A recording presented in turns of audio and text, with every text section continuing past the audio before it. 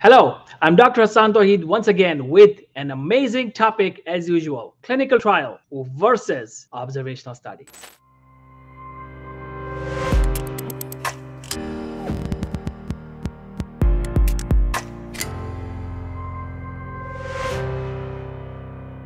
Clinical trials versus observational studies. This is a very challenging topic for new students mostly. And here I am with this video to ensure that this topic is on your fingertips and you are not confused about this topic again. Let's talk about this. So what is a clinical trial? I have discussed in my previous video. Clinical trial is actually an experiment or experimental study or interventional study. And what is an observational study? In observational study, you just observe. So now what is the difference? In clinical trials, first of all, first of all, you have a patient always in observational studies it doesn't always have to be patients it could be anyone it could be in any field right so we have to first define it in a way that in clinical research we can have clinical trials and we can we can have observational studies. It means that we have patients involved. Yes if we have patients involved in clinical trials yes we call them clinical trials. If we have patients involved in observational studies we call them observational studies but they all come under or they both come under the umbrella of clinical research. So remember to be a clinical research the study design has to have patients involved. This is very important. Or ultimately, the benefit of patients is involved. If you have patients involved in a trial where you have an intervention involved, it's clinical trial. If you have observational study, you have patients, but you don't have any intervention involved, it is observational study. Now, what does that mean? I know many of you are confused. So don't worry about it. Don't worry about this.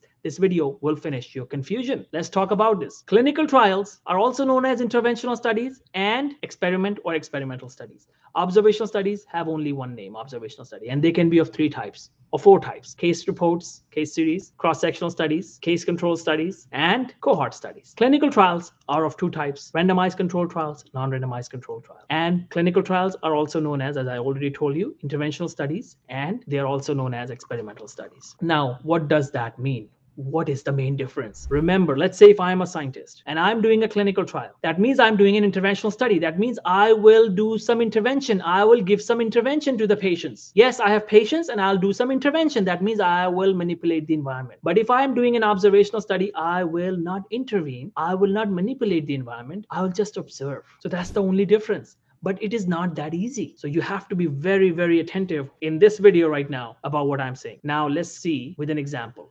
Let's say I have a medication, I give a medication to the patient and observe the after effects of this medication, then it is a clinical trial, right? If I have a vaccine, I give this vaccine to a patient and I see the after effects of the medication, it's a clinical trial.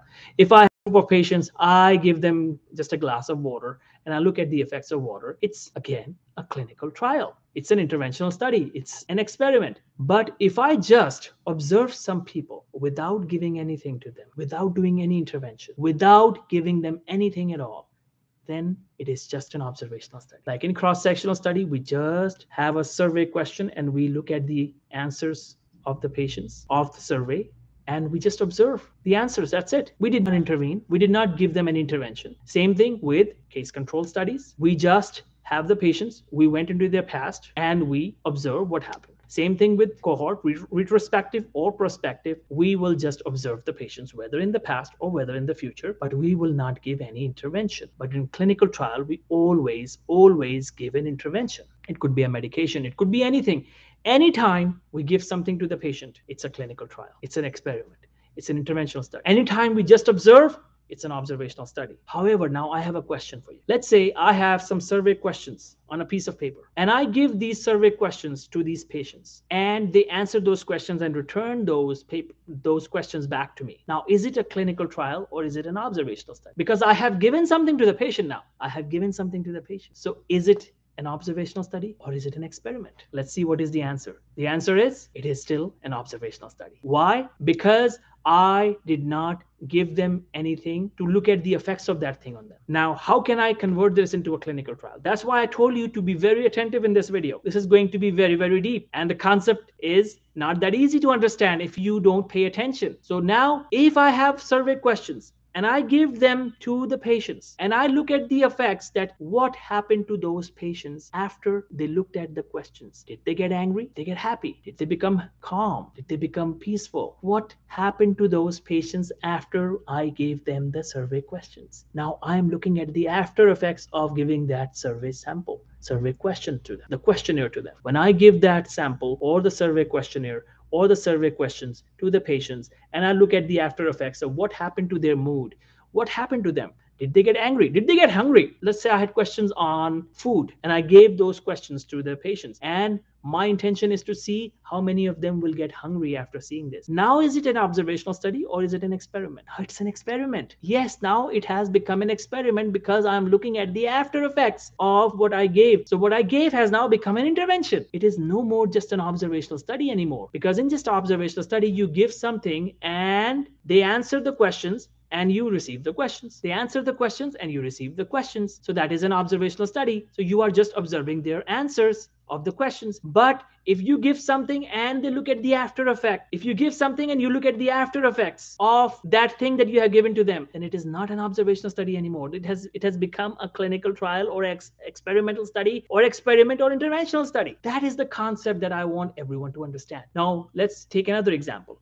Let's say I have some patients and I take their hair sample. I collect their hair sample and I have the hair sample of 100 people. I'm looking at what color of hair they have in this particular area. Is it an observational study or is it an interventional study? Because see now I have done something to the patient. Will you call it an observational study or you will call it an experiment? What will you name it? The answer is it is still an observational study. It is still an observational study. Yes, so how do I change it to a clinical trial? Let's say the same hair sample thing, the same idea of hair sample. I want to convert this into a clinical trial or experiment or interventional study. How do I make this a manipulation or make this an intervention? How do I do this? How do I go about it? Now, listen to me. This is very important. If I have patients, I take hair sample of these 100 people and I look at if they develop an infection on their skin because I took some hair sample or did they get angry? Did they get frustrated?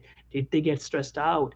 Did they feel happy? Whatever. If I'm looking at the after effects on them of this thing that I have done to them, then it is an intervention. Just by taking a hair sample and just looking at the hair sample is not a clinical trial it's observational study same thing with blood sample if i take their blood sample i look at the blood sample i monitor the blood sample it's an observational study but if i take their blood sample and i'm looking at what happened to them did they develop an infection now it's an observational study or a clinical trial now it's a clinical trial because you are looking at the after effects. You're looking at the after effects of the intervention. So I hope now the concept is clear and now you can easily differentiate between a clinical trial and an observational study.